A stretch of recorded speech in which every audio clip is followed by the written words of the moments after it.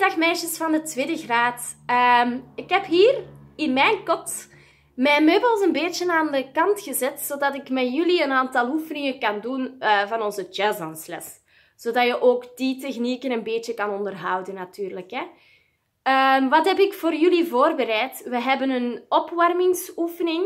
Die opwarmingsoefening is op opzij van Like Me. Dan kan je dat alvast klaarzetten.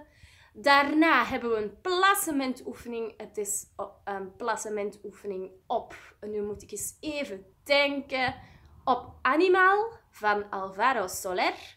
Ik, uh, ik zet het hieronder ook nog wel even in de beschrijving hoor.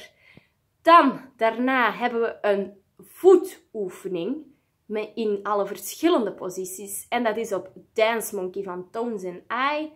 En tot slot heb ik nog een choreografietje voor jullie of toch al een stukje ervan, op Mambo nummer 5 van Lou Bega. Dus ik zou zeggen, zet al uw meubels aan de kant of ga in de tuin staan als je een tuin hebt. Of zorg er gewoon voor dat je heel veel plaats hebt.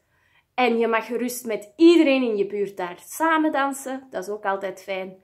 En dan kunnen wij beginnen!